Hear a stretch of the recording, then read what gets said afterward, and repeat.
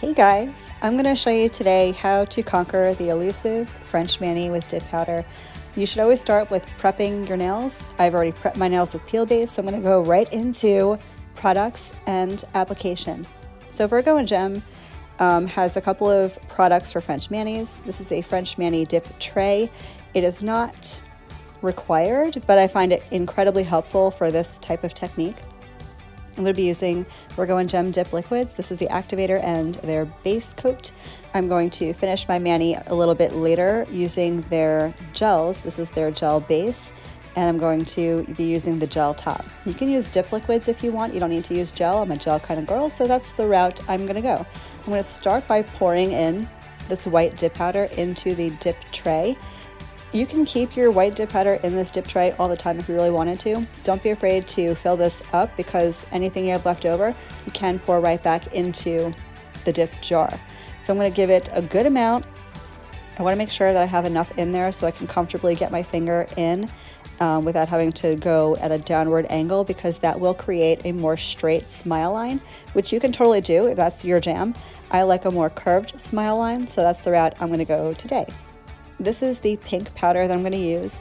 It's on the darker side of the pink spectrum, so if you like that very dark pink and white look, this is the one I recommend. If you're a more natural French girl, I would highly advise going with the other colored pink dip powder.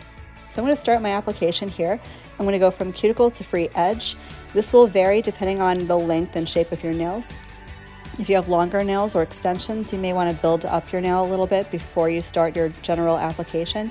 You can do that with color or with clear, but for my nails, I'm going to do what I usually do, which is a full coat of the base, and I'm going right into the white dip powder, and I'm going as straightforward as possible to get a curved smile line.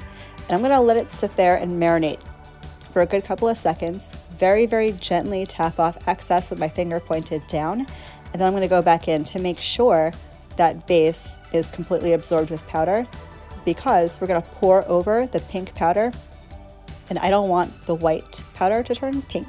So you wanna make sure that's nice and saturated. Now I'm gonna grab my pink powder and it's important to not dip your finger into the pink powder. And I'm gonna tell you why. If you have excess white powder, we're not brushing anything off yet. So you're gonna have excess white powder on your nail tip. And if you go dunking your finger into that pink powder, white powder has a good chance of coming up over that smile line. And then you're not gonna have that classic French smile line. It'll look a little bit more like an ombre. So I'm gonna go ahead, pour over, and we're gonna repeat this entire process. Before I do that, I'm gonna go around my cuticles with a cuticle stick. This will just help me keep my cuticle line as clean as possible. Will help you out later on with filing. So I'm gonna do that brush off excess, and repeat the process. I'm gonna let you guys watch, and I'll be back with you guys in a sec.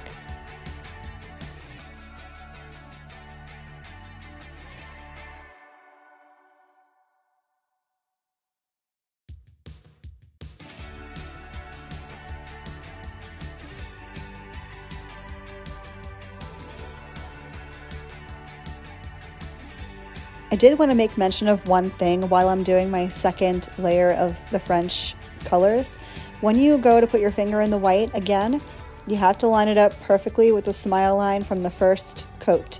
It's not difficult because you already have that guide as your smile line, but if you don't line it up perfectly, it can look uneven or shadowy, so you want to make sure you're doing that.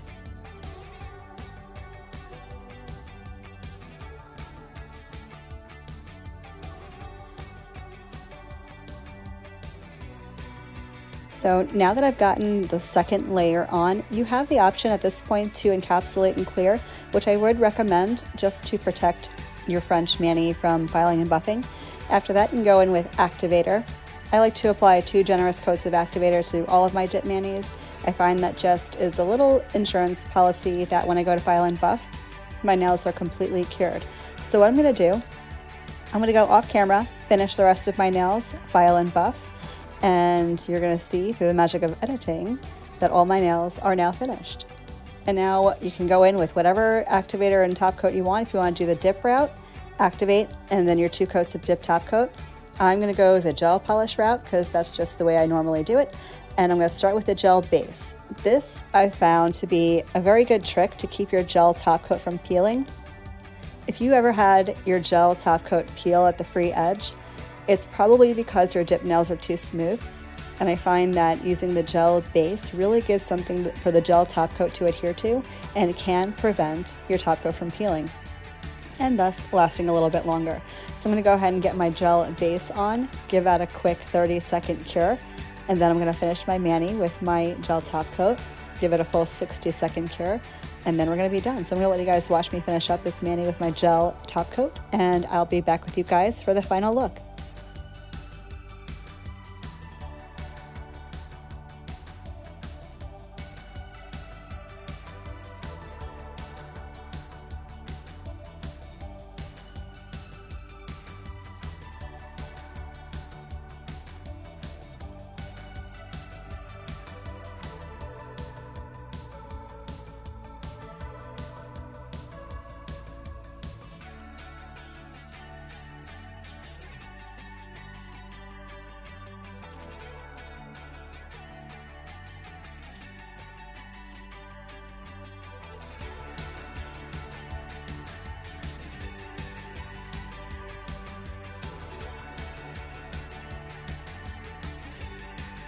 So here is the finished mani. I went ahead and applied my cuticle oil and now we're ready to go. I hope this was helpful. I hope you found it interesting and I hope it inspired you to give French mani a try. Don't be afraid of it. Once you get the hang of it, you're gonna rock it. Thanks so much for watching. I'll see you guys in the next one. Love you, bye.